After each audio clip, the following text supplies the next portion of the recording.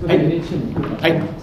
森友学園の問題でお伺いしたいんですけど、はい、あの今日籠池前理事長、はい、民進党の、まあ、去年、はい、に呼ばれて、はい、まあ、新たな勝利、はい。まあ、あの報道でも、はい、いろいろまた新たな事実出ています、これについて共産党としての受け止めと、まあ、今後、まああの、ベンチャー的には集中審議もありますが、その辺の望み方などを伺えればと思います。はいまあ、この間、あの森友問題で言いますと、あの我が党としてあの直近でいうと、2つのことを明らかにしてきたと思うんですが、1つは、あの国有地の売却をめぐるあの段取りのことで、まあ、近畿財務局があの手続き書類をまあ代筆して、まあ、提供していたと、渡していたということで、あの我々としても現物入手して、現物を示しました。からもう一つは、あ今日も民進党で籠池氏があの出席してという話がありましたが、あの交渉の面談記録を、まあ、音声記録、音声データということであるというのを、まこれもあの我が党としても入手で、それを示してですね、あの財務省の説明との食い違いということをあのが明らかになってきたと思います。それであの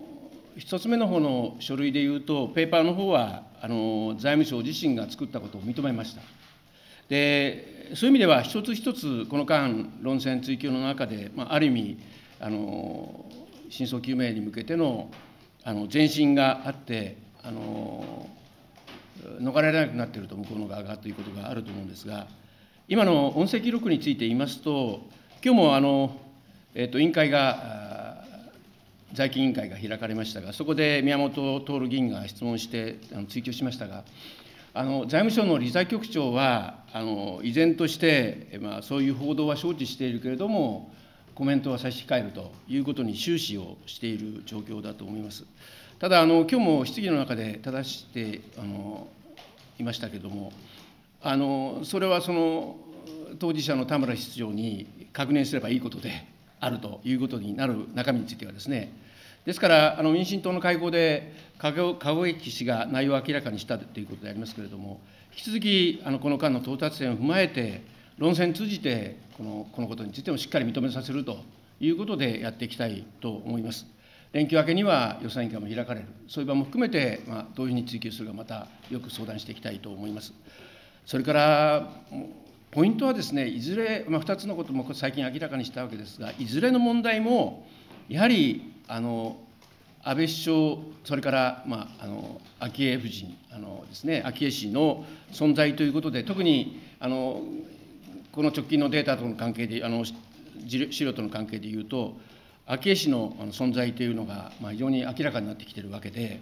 ただ、あのご本人はまだどこでも、あのこの件については、この森友問題については語ってないということでありますから、しかしっかりと国会の場で語っていただくと、そういう点では証人喚問ということも非常に大事なことが大事なことになっています。でこの点ではあの野党として一致して求めてきている森友問題の追及ですので、これはぜひあの野党の共同も強めてですね、あの迫っていきたいと思っています。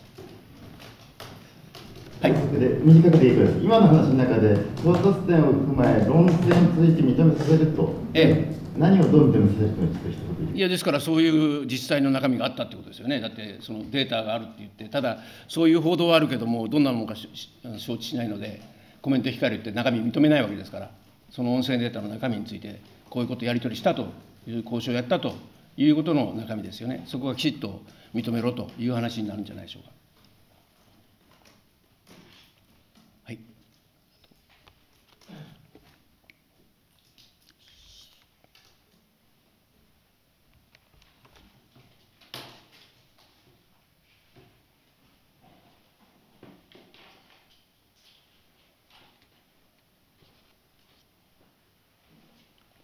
よろしいでしょうか？じゃあ、1点だけちょっといいかしら、私のから。あの、えー、っと、日露の首脳会談がありました。安倍プーチン会談があったんで、あのまあ会談の中であの国連安保理の常任理事国で、まあ、6者会合のメンバーであるロシア、そのプーチン大統領が、す、えー、べ、ての関係国に対して、あの好戦的な言い回しをやめて、落ち着いて建設的な対応を目指すことを呼びかけるというふうに、あのそして少しでも早く6者会合、6か国協議を再開することが共通の課題だと述べたということで言われております。でこれは非常に重要なあの中身だと思って、発言だと思っておりまして、トランプ政権が26日に経済制裁と外交的手段で北朝鮮に圧力をかけて対話を促すと、まあ、3長官の共同声明を出したということに注目をしているわけで、われわれ注目しているわけですが、これに対して中国がすかさず肯定的に評価するということがあって、そして今回の日露の首脳会談で、ロシアが米国など関係国に自制を求めたうえで、ロシアと日本が加わる6者会合、6か国協議の再開を呼びかけたと、そして日本との協力姿勢を見せたというのは、非常に重要だと思っております。で我が党として、この間、北朝鮮を巡る問題で、えー、軍事的選択肢は取るべきでないとで、外交交渉しかないということで強調してきました。そして、えー、経済制裁の強化と一体での外交的措置という方向に事態が進むことを願っているし、そして進むことを求めたいということも言ってまいりました。そういう中で日本政府の態度が問われていると思うんですが、いよいよですね、まあ、あの昨日のそうした首脳会談でのプーチン大統領の発言も踏まえながらですが、関係国による対話、